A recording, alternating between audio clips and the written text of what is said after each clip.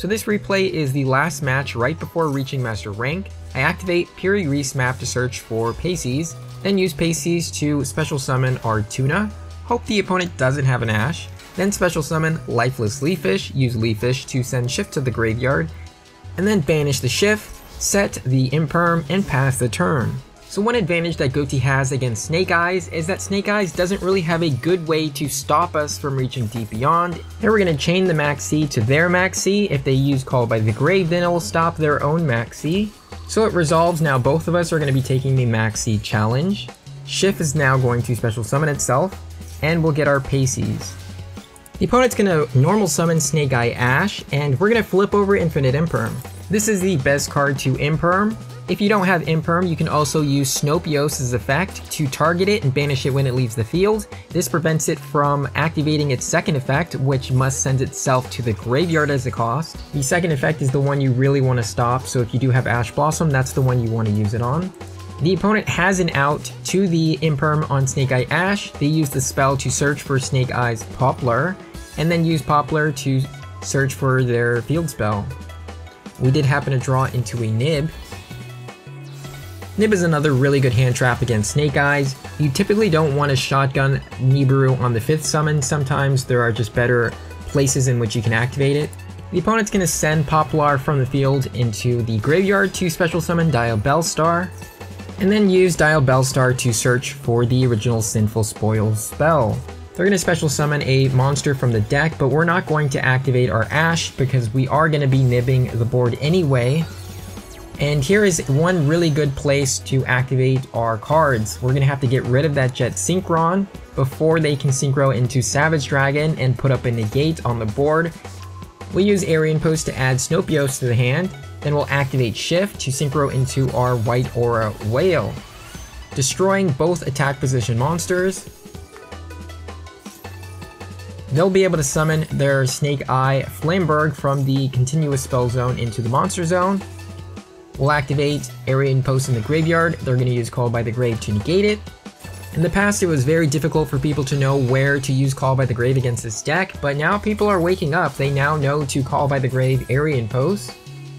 So that's going to prevent us from searching our Zep, and so we're not going to be able to do Deep Beyond. And now they have Droll and locked us, so we're not going to be able to get any more draws. And this is the perfect time to use Nibiru because now they've already activated Flamberge, so if we tribute the field, they won't be able to bring back their monsters. This usually shuts them down for the rest of the turn. The opponent's gonna nib our nib. That's the first time that's ever happened to me. And then crash their nib into our nib. So we know the opponent cannot extend anymore, so we're gonna banish our two fish, Special summon our Snopios. The opponent takes 2000 damage at the end phase because they did not normal summon the card they searched for using the War Arthau spell.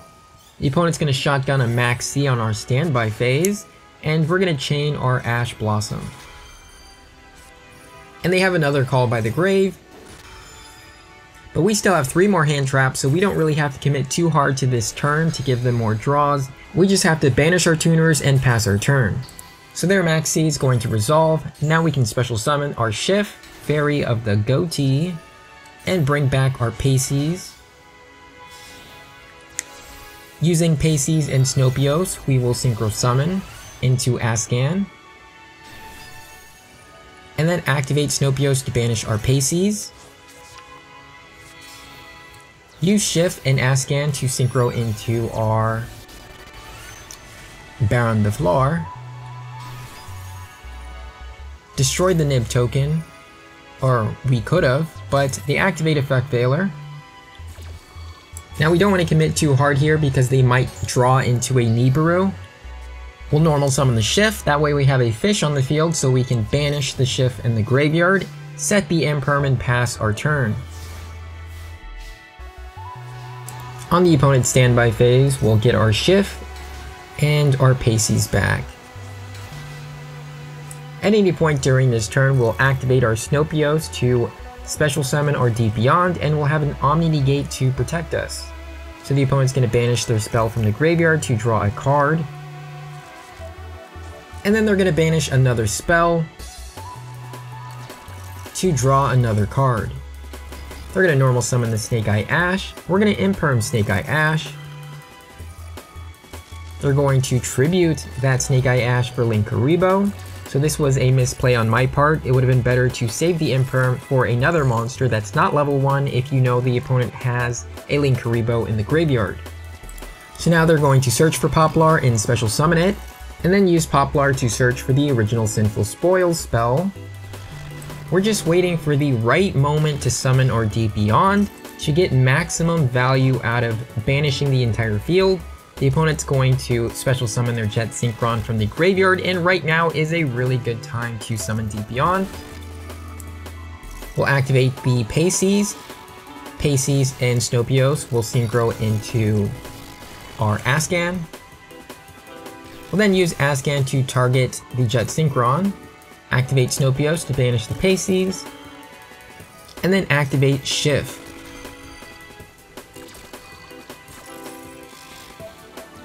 Shift and Askaan will go into a Deep Beyond.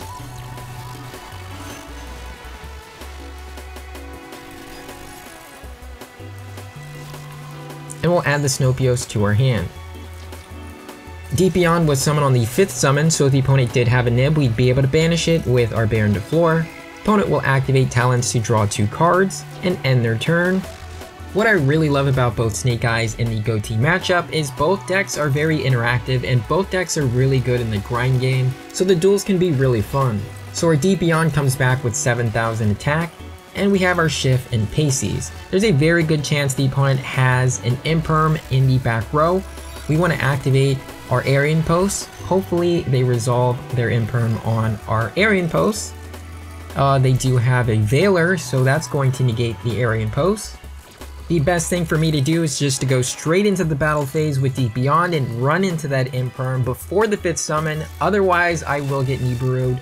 I deserve to get Nibiru'd right here. It was a really big mistake here, but we still have some more plays here. We can banish Askaan and Paces with Snopios, target Snopios to banish it when it leaves the field. Askaan will banish Shift from the graveyard, special summon the Askaan. Then we can use the Ready Fusion in the hand to summon a level 2 tuner. And then we're going to be able to Synchro Summon into a monster to negate the Imperm. Alvain plus Snopios will Synchro into Dragite. Emancipated Rising Dragite has another effect that sometimes you can forget all about, and that is we can search the top 5 cards of our deck, and if we happen to have a rock, we can return one card the opponent controls back to the hand. So we can activate this, we still have at least one Nibiru in the deck, and we don't get lucky enough to bounce a card. We're to go into the battle phase, crash our Askaan into the nib, and go in for Dragite. On the opponent's turn, we can bring back our Shift and special summon our Paces. So we still have one more Deep Beyond, and we're protected by Dragite. The opponent's to draw a card, summon the Poplar, search for the original Sinful Spoil spell. The opponent doesn't search with Diabellstar, maybe because they don't have any more spells to search. They're going to activate their spell to summon a card from the deck and bring back the Jet Synchron, which we really don't want to happen. So we're going to synchro with Paces with our Askaan into a Deep Beyond. And there goes the Imperm. So we're going to negate that Imperm with Dragite. And once we wipe the field with Deep Beyond, the board will be empty and then we'll be able to activate our Psyframe Gamma. So on top of having a negate, we still have a Nibiru. We don't have to activate Snopios at the end of the turn, we can just leave our field empty so we can negate anything with Gamma. So here we're going to get our Deep Beyond back, and that's going to be enough to end the game. Deep Beyond will have a fat 9000 attack, that's going to be enough to rank up into Master Rank, and that's using a Ghoti deck with Dimensional Shifter. We're going to go ahead and take a look at that deck. So for this season, I'm running a Ghoti deck without Coelacanth, and it has 41 cards. It has a 75% chance of doing a Deep Beyond, Going second is 85% chance, and so that averages to about 80% chance of doing a Deep Beyond combo. This also means 1 out of 5 games you're kind of playing suboptimally, but your opponent is having a bad time because it also means you probably have like 3 or 4 hand traps. This deck also has 16 hand traps. You're almost guaranteed to at least draw one, and 2 out of 3 games you're drawing 2 hand traps. The current meta with Snake Eyes as tier 1 demands that you have a lot of hand traps in order to stop them from playing, because if you're going second against a deck like Snake Eyes and you have no hand traps to stop them from doing their combo, you're probably going to lose unless they brick. If you want to increase your own consistency, you can lower the amount of hand traps to maybe 2 Nibiru or 2 Ash Blossom. Ash Blossom is probably the least impactful hand trap right now. Even though it does help us out um, Max C, our deck doesn't really do a lot of combos anyway, and we also have things like Gamma and Shifter, which can help us against Max C and we also have Crossout. You can also increase the number of Leafish to 3 copies. I also brought back Stealth Kragen. There are sometimes moments in which uh, you only have Shathana, Abyss Shark, or Ready Fusion, or maybe a negated Leafish, and so you can only access a level 4 XZ. It does come up, but admittedly if you didn't have it, you probably wouldn't miss it.